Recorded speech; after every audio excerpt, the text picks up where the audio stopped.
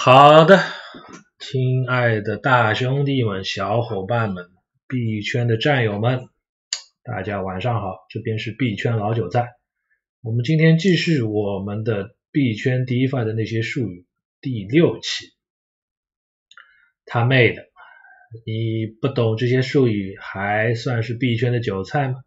还能在币圈立足吗？怎么去把妹？怎么去吹牛逼？那我们今天看看币圈老韭菜 DeFi 中的 DeFi 战斗机中的战斗机的那些数。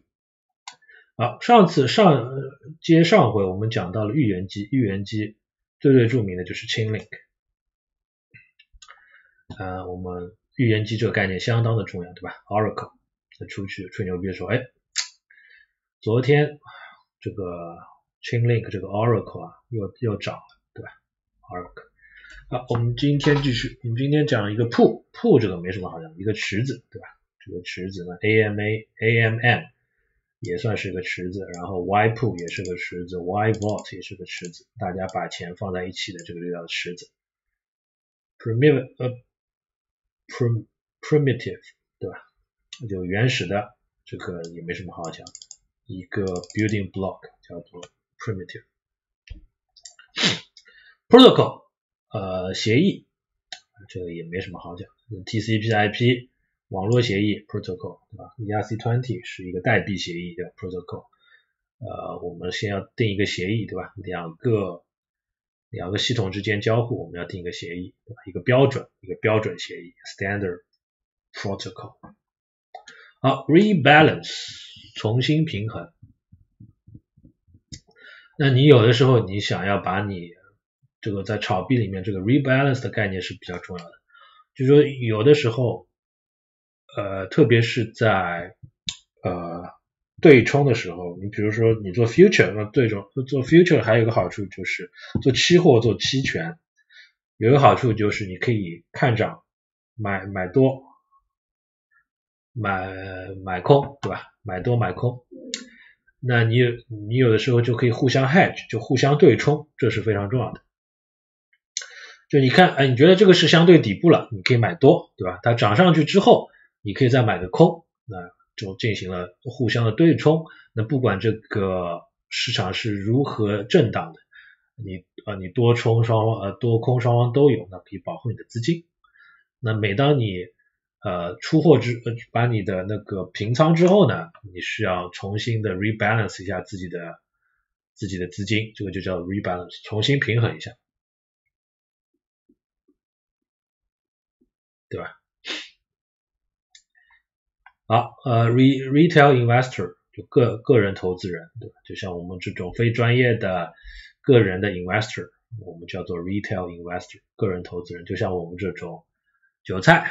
小虾米，统称 retail investor，R O R O I return on investment 就是你的投资回报率，你投了一百块，然后一年之后回回本一百啊，就是还返回两百块，那你的 R O I 一年就是百分之一百，对吧？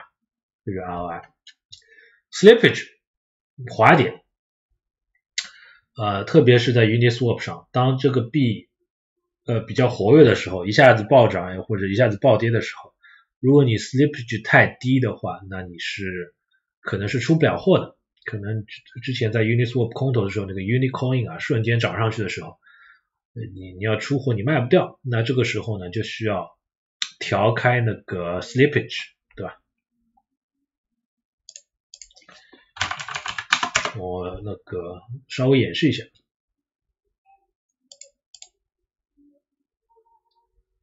它默认的是百分之一，就在这里有一个这个，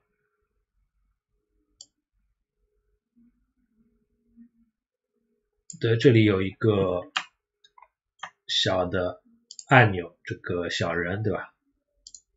你点它，这里有一个叫做 slippage tolerance，就是你能承受的滑点有多高，它默认的是百分之零点五，对吧？那一般当这个币比较火爆的时候，我都是直接换成五的，对吧？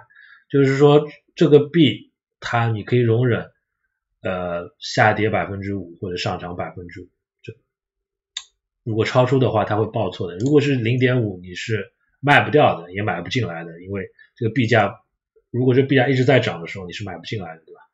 当当你去交易的时候，你知道每个 transaction 是十秒到十五秒，当你交易的时候，这十秒之中这个币价可可能已经涨了百分之三十了，那你就是买不进来的，有点夸张，十秒涨百分之三，那十秒涨个百分之五是很正常。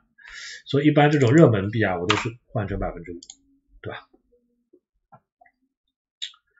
呃，我一般也是把这个 expert mode 开成 on，如果你 off 的话，啊，这个东西能改吗？啊，也是可以改的，是？我一般是 turn on expert，呃，expert mode 就是专家模式，对，你就专家模式之后才能允许高的 slippage trade，对吧？然后 confirm 才可以。你非专家模式这个应该是不能改的。简单的讲一下，这个叫做呃 slippage 滑点，slippage 滑点。好，那智能合约我们之前也讲了很多次了，就是呃在以太坊上的一个合约叫智能合约，当然在波卡上也叫智能合约，对吧？就统称了智能合约。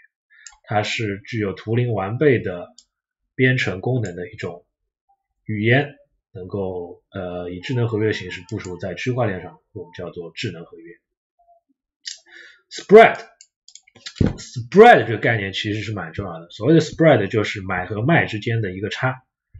就如果这个 token 的流动性不是很好的时候，你会发现买方可能是十块，卖方可能是十二块，然后中间这个 Spread 又很高，有有 two percent，对吧？这个就叫做 Spread。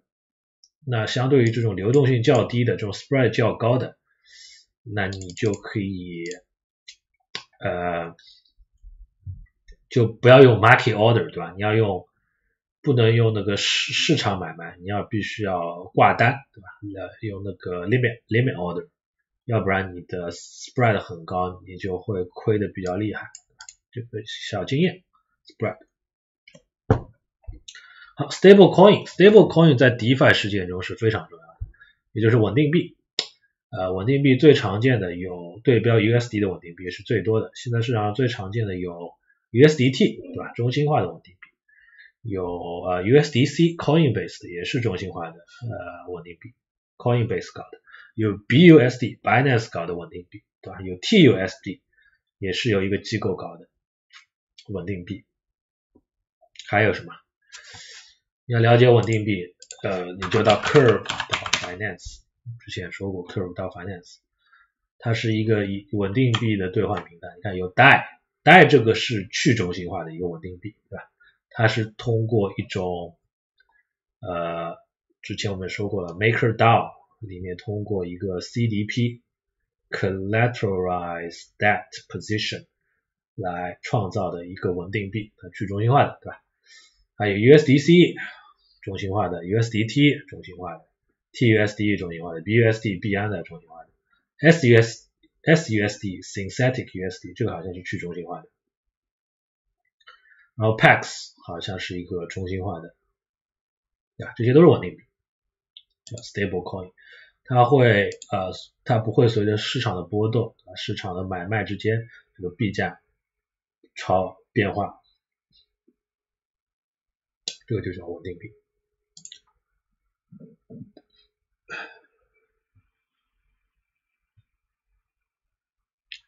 对，这个叫做 Pact 对标美金的，对吧？